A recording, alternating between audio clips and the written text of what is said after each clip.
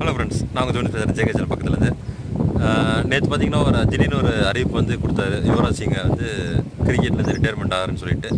So எல்லாத்துக்குமே வந்து இந்திய கிரிக்கெட் ரசிகர் அனைவருக்குமே வந்து மிகப்பெரிய ஒரு ஷாக் ஏன்னா ஒரு லாஸ்ட் வேர்ல்டு கப்பில் பார்த்தீங்கன்னா சூப்பர்பாக ஒரு விக்ட்ரிக்கு ரொம்ப வந்து உறுதுணையாக இருந்தவர்.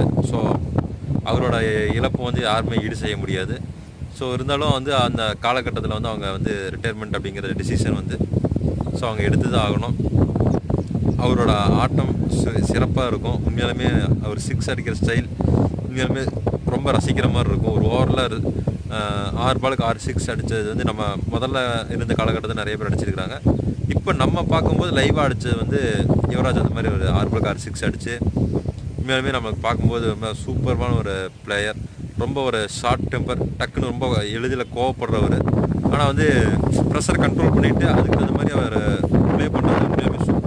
பண்ணுறதுக்கு ஒரு நல்ல ஒரு வீரை நம்ம இழந்துட்டோம்னு தான் சொல்லணும்.